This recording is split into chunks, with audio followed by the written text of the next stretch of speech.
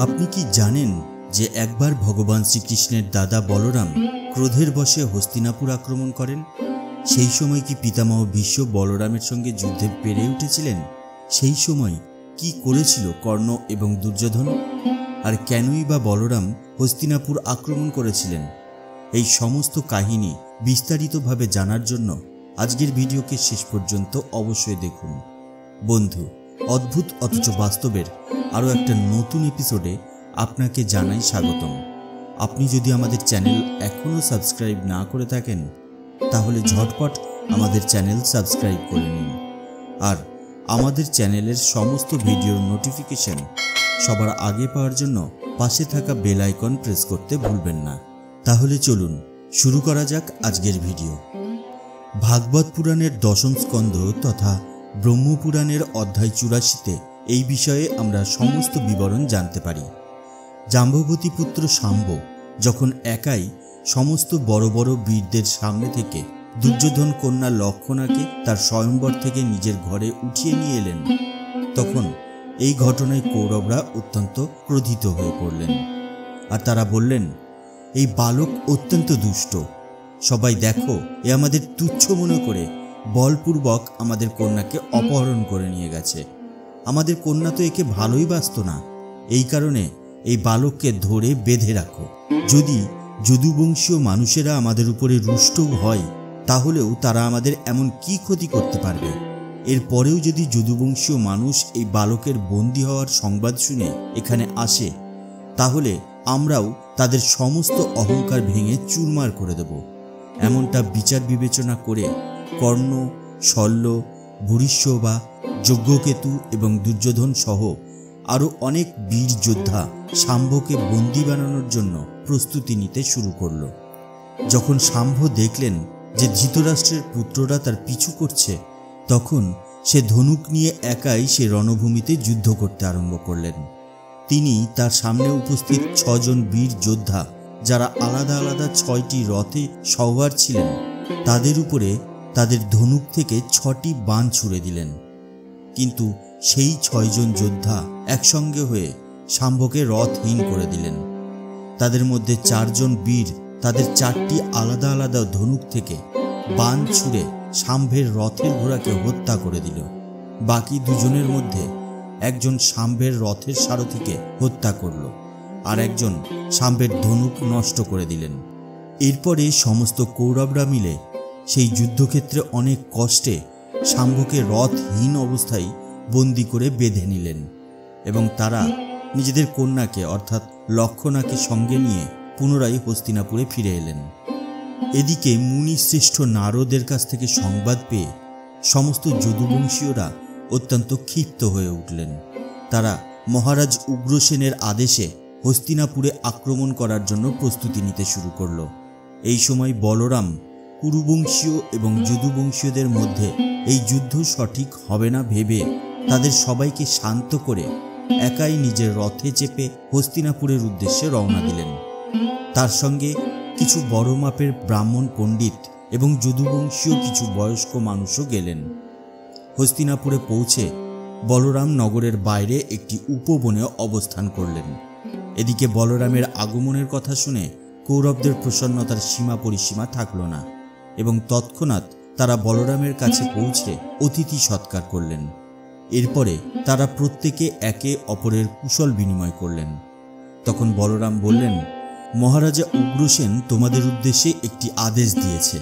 এই আদেশকে তোমরা খুব মনোযোগ সহকারে শোনো আর তা পালন করো। তিনি বলেছেন, আমি জানি যে তোমরা একসঙ্গে মিলিত হয়ে অধর্মের সহায়তা নিয়ে একা শাম্ভকে পরাজিত করেছ। এবং তাকে বন্দি বানিয়েছ। এই সমস্ত কিছু আমরা এই জন্য সহ্য করে নিচ্ছি, কারণ আমাদের মধ্যে যে আত্মীয়তার বন্ধন তৈরি হয়েছে, তাতে কোনো খুঁত না লাগে আর এটা বজায় থাকে। অতএব ঝগড়া না বাড়িয়ে, মনোমালিন্য ভুলে গিয়ে শাম্ভকে এবং তার নববধূকে একসঙ্গে আমাদের কাছে পাঠিয়ে দাও। এই কথা শুনে সমস্ত কুরুবংশীয়রা ক্রোধে আগুনের মতো জ্বলে উঠল। আর বলতে আরম্ভ করল, সত্যি, কালের চক্রকে কেউ ভঙ্গ করতে পারে না। সেই জন্যই তো আজকে পায়ের জুতো সেই মাথায় উঠতে চাই, যা মণিমুক্তা খচিত স্বর্ণ মুকুটের দ্বারা সুশোভিত থাকে। এই যদুবংশীয়দের সঙ্গে কোনোভাবে আমরা বিবাহ সম্বন্ধে আবদ্ধ হয়েছি বলে এরা আমাদের সঙ্গে ওঠা বসা এবং খাওয়া দাওয়া আরম্ভ করেছে। আমরাই এদের রাজসিংহাসন দিয়ে রাজা করেছি আর আমাদের সমগোত্রীয় বানিয়ে নিয়েছি। যেমনভাবে সাপকে দুধ পান করানো, দুধ দেওয়া ব্যক্তির পক্ষেই প্রাণঘাতী হয়ে ওঠে, ঠিক তেমনভাবেই রাজচিহ্ন ধারণ করার পরে এই যদুবংশীয়রা আজকে আমাদেরই বিপরীতে চলে যাচ্ছে। এরা নির্লজ্জ হয়ে আমাদের উপরেই হুকুম চালানোর চেষ্টা করছে। পিতামহ ভীষ্মের বল আর ধন সম্পত্তির অহংকারে পরিপূর্ণ কৌরবরা বলরামজিকে এমনভাবে কটু বচন শুনিয়ে হস্তিনাপুরে ফিরে গেলেন। ঠিক এই সময় কৌরবদের ধৃষ্টতা আর অহংকার দেখে বলরামজি অত্যন্ত ক্রোধিত হয়ে পড়লেন। এর ফলে তিনি অত্যন্ত জোরে হেসে উঠলেন আর বললেন, সত্যিই, যে দুষ্টের মধ্যে নিজের কুল, বল, পৌরুষ এবং ধনের অহংকার তৈরি হয়, সে কখনোই শান্তি চায় না। তাদেরকে দমন করার উপায় কখনোই বুঝিয়ে সুঝিয়ে রাস্তায় আনা হতেই পারে না। তাদেরকে দণ্ড দিয়েই দমন করতে হয়। না হলে দেখো সমস্ত যদুবংশ এবং স্বয়ং কৃষ্ণও ক্রোধের বশে কৌরবদের সঙ্গে যুদ্ধ করবে বলে প্রস্তুত হচ্ছিল। বরং আমি তাদেরকে বুঝিয়ে সুঝিয়ে মধ্যস্থতা করার জন্য এখানে এসেছি। তবুও এই মূর্খরা এমন ধৃষ্টতা করছে যে দেখে মনে হচ্ছে এদের শান্তি প্রিয় না, বরং দণ্ডই প্রিয়। কি ভালোই না বলেছে, আমরা জুতো আর এই কুরুবংশীয়রা মস্তক ধন সম্পদ এবং নিজেদের বলের অহংকারে উন্মত্ত কৌরবদের দেখে পাগল বলে মনে হচ্ছে। এদের প্রত্যেকটি বাক্য অত্যন্ত অপমানজনক এবং অত্যন্ত কটু।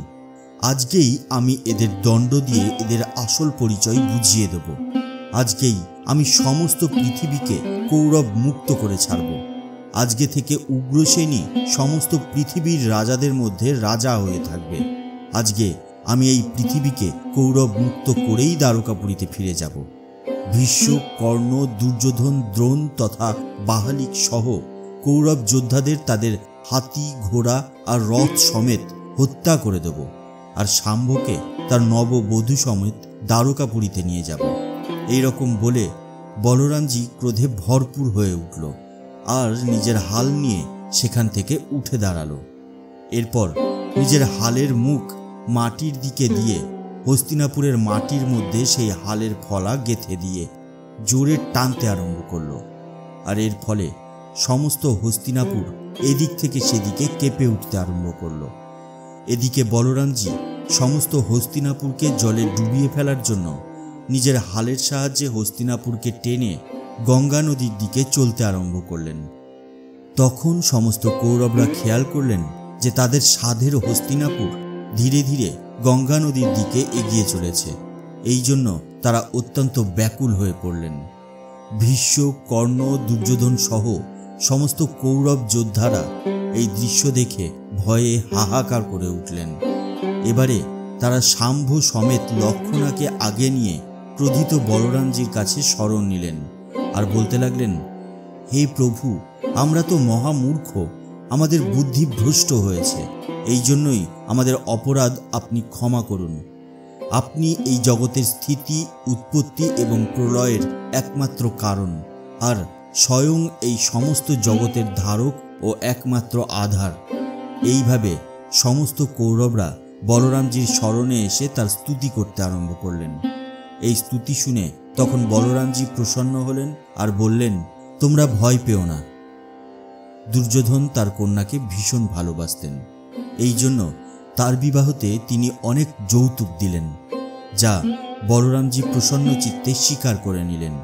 আর নবদম্পতি, অর্থাৎ শাম্ভ এবং লক্ষণার সঙ্গে কৌরবদের অভিনন্দন স্বীকার করে দ্বারকা অভিমুখে যাত্রা করলেন। এরপরে বলরামজি যদুবংশীয়দের ভরা সভাতে এই কাহিনী বলে শোনালেন, যা তিনি হস্তিনাপুরে কৌরবদের সঙ্গে করেছিলেন। সুখদেব গোস্বামী মহারাজ পরীক্ষিতকে এই বৃত্তান্ত শোনানোর পর বলেন, হস্তিনাপুর আজকের দিনেও দক্ষিণ দিকে সামান্য উঁচু এবং গঙ্গার দিকে সামান্য ঝুঁকে আছে। আর এইভাবেই সমস্ত হস্তিনাপুর সেই সময়কার ঘটে যাওয়া ঘটনার সাক্ষী হয়ে আছে। আজকের ভিডিও ব্যাস এই পর্যন্তই। আমাদের আজকের ভিডিও আপনার কেমন লাগল সেটা নিচের কমেন্ট বক্সে কমেন্টস করে জানিয়ে দিন। আর আমাদের ভিডিও যদি আপনার ভালো লেগে থাকে তাহলে একটা লাইক করুন আর শেয়ার করে ছড়িয়ে দিন সবার মধ্যে। তাহলে দেখা হবে পরবর্তী ভিডিওতে তার আগে অবশ্যই ভালো থাকবেন, সুস্থ থাকবেন। ধন্যবাদ।